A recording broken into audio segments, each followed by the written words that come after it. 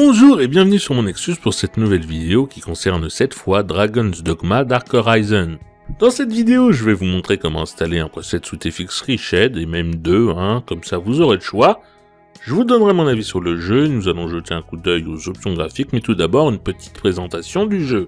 Il s'agit d'un beat'em up en pseudo-monde ouvert avec un système de jeu et de progression jeu de rôlesque représenté par des stats et une évolution classique par niveau, des quêtes secondaires un petit peu FedEx, le scénario étant autant à chier que le système de combat est aux petits oignons, il s'agira d'un jeu que l'on parcourra essentiellement et qu'on aimera essentiellement pour ses combats jouissifs.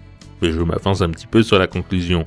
Une des originalités du jeu, c'est son système de pions qui sont rien de plus qu'un système avec des PNJ, euh, donc euh, des personnages non joueurs avec une IA allant du bon au tout moisi, et qui sont là pour vous prêter main forte.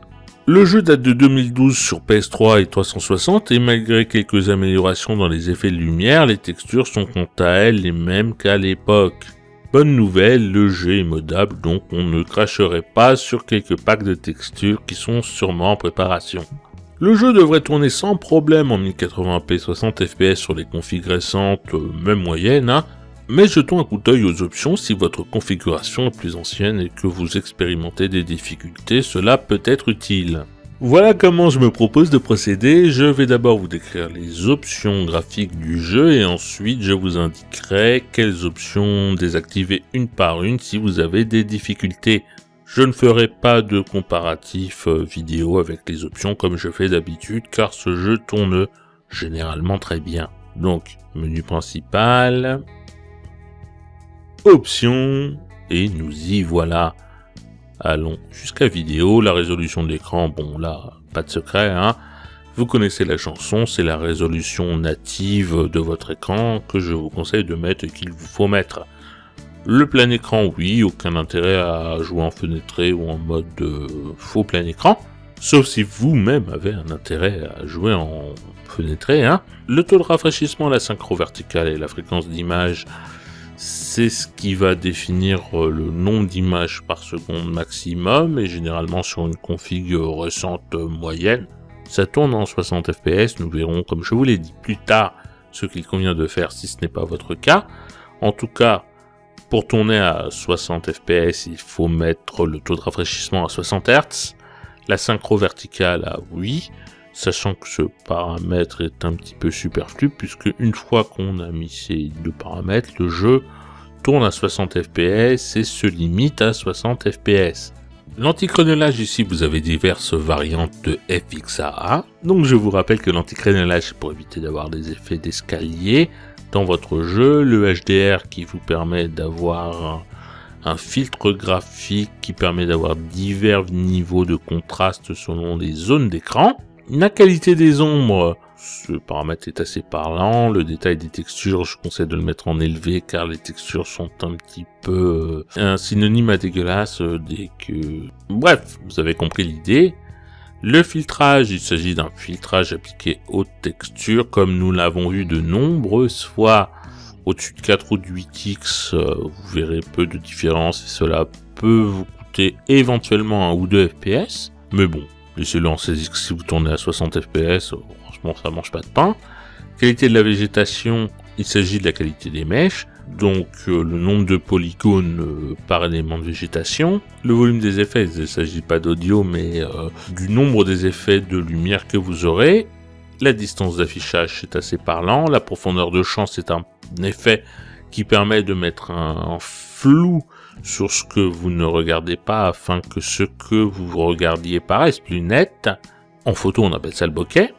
Le champ de vision de la caméra, c'est le FOV, donc je vous conseille de le mettre le plus haut possible.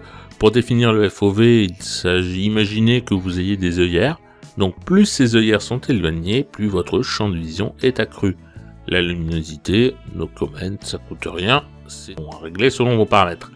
Donc maintenant, moi ce que je vous conseille de faire si vous expérimentez des difficultés que vous avez une trop vieille config, c'est de baisser en priorité l'aniso.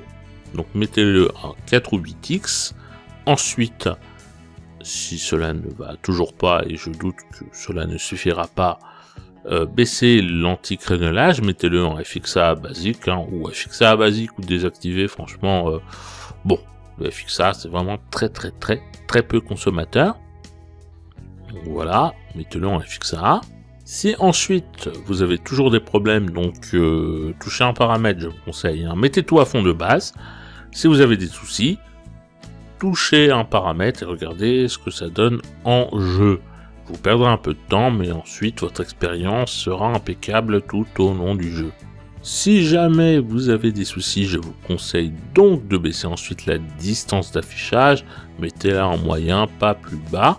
Vous pouvez taper dans la qualité des ombres qui est généralement un paramètre un petit peu consommateur. Donc voilà, vous pouvez le mettre en moyen. En dernier recours, baissez le détail des textures, mais bon, les textures sont déjà pas géniales, donc vous y perdrez euh, beaucoup. Hein. Et si vous avez toujours des soucis, baissez le champ de vision. Baissez-le progressivement, je vous conseille de ne pas le mettre à zéro, sinon vous aurez le même résultat que les joueurs PS3 et 360. Au niveau du FOV, baissez-le par à coup de 5, et si vraiment vous n'avez pas le choix, bon, bah, mettez-le à zéro si vraiment votre PC est trop trop vieux. Mais j'aurais tendance plus à le laisser par exemple euh, à 10, et à baisser la qualité de la végétation. Voilà, ensuite, euh, vraiment, si vous avez encore des soucis, ben, vous n'avez plus le choix. Hein.